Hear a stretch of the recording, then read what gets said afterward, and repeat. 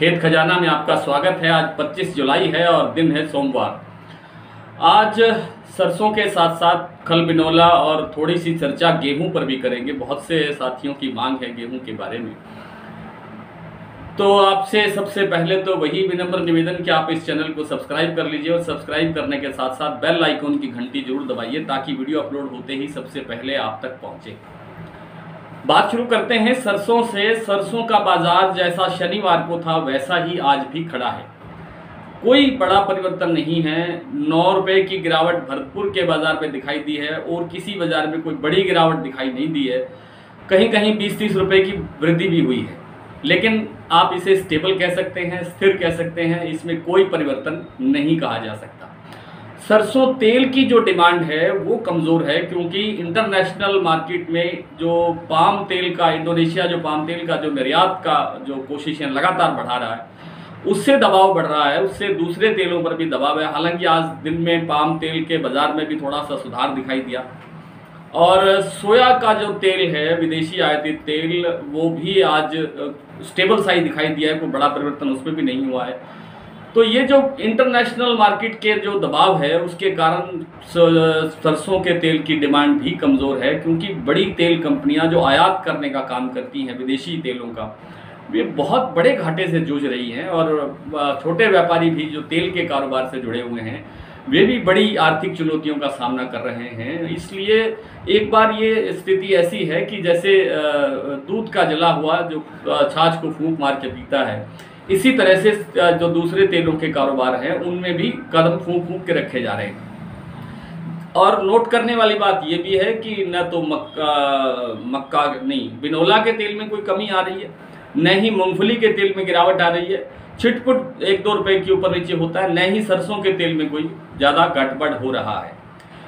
तो अब आगे आगे सरसों के तेल की मांग निकलनी चाहिए, क्योंकि छोटे मोटे त्यौहार भी नज़दीक हैं और मानसून चल ही रहा है और दूसरी सबसे बड़ी बात यह है कि आगे सारे सीज़न ही खपत वाले हैं, सरसों की उपलब्धता कम है कुल मिलाकर के।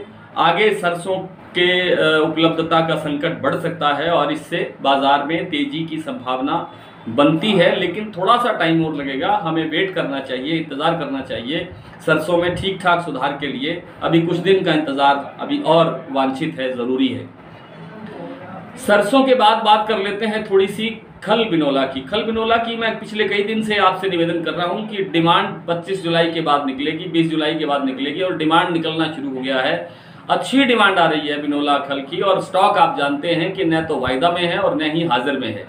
और इसलिए वायदा बाज़ार भी आज सुबह से ही काफ़ी अच्छी तेज़ी के साथ कारोबार करता हुआ दिखाई दे रहा है। और ऐसे लग रहा है कि आने वाले दिनों के अंदर इसमें और अच्छी तेज़ी बनती हुई दिखाई दे सकती है। क्योंकि बिनोला की उपलब्धता कहीं नहीं है। कपास की जो जो इस साल की फ़सल थी वो खत्म हो चुकी है। और जो नई फ़सल है वो भी बरसातें इस तरह से हुई हैं कपास के खेतों में जैस उनसे फ़सलों को बड़ा भारी नुकसान हुआ है। अभी तक सही आंकलन सामने नहीं आया है, लेकिन अकेले विदर्भ में महाराष्ट्र के अंदर आठ लाख हेक्टेयर के अंदर फ़सलों को नुकसान बताया गया सभी तरह की फ़सलों में। उसमें कपास भी शामिल है। तो अगर कपास का उत्पादन कम नहीं होगा तो कम से कम फ़सल लेट ज़रूर आएगी। लेट आएगी, इसका मतलब यह है कि महाराष्ट्र और गुजरात दोनों की फ़सल लेट होने से जो वायदा का स्टॉक है, वो वहीं से पूर्ति होता है। हरियाणा, पंजाब के उससे पूर्ति संभव नहीं होती, क्योंकि क्वालिटी का फ़र्क है। यहाँ सात आठ परसेंट, नौ परसेंट तेल की खल होती है, वहाँ छः परसेंट की तेल की खल होती है। वो वहीं चलती है, उसी बाज़ार में चलती है।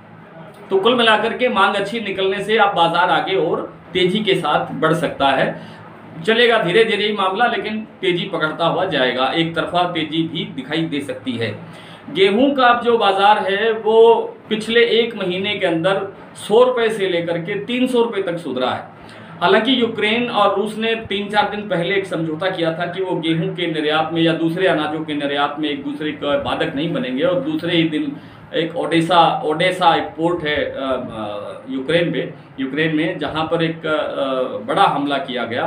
मिज़ाइल से। और ऐसा लगा कि ये हमला रूस ने किया, हालाँकि रूस ने बाद में इससे इनकार किया। खैर, ये हमारे विषय की बात नहीं है।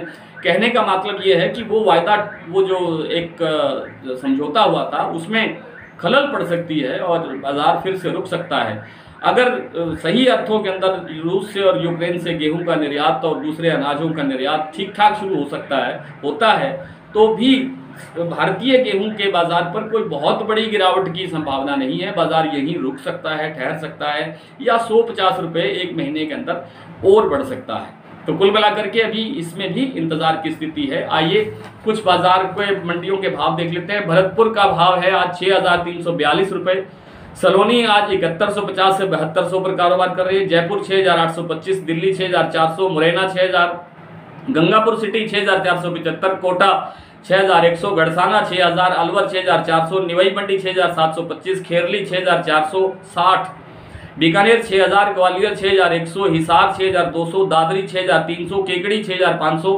राय सिंह नगर पाँच हज़ार नौ सौ इक्यानवे गंगानगर छः हज़ार बानवे हनुमानगढ़ पाँच हज़ार नौ सौ पचास नौहर छः हज़ार चालीस मंडी डबवाली पाँच हज़ार छः सौ देवली मंडी पैंसठ सौ अबोहर मंडी पाँच हज़ार नौ सौ पाँच और सिरसा में आज सरसों का भाव रहा है छः हज़ार एक सौ साठ रुपये से लेकर के छः हज़ार तीन सौ निन्यानवे रुपये कल फिर आपसे मुलाकात होगी, तब तक के लिए नमस्कार।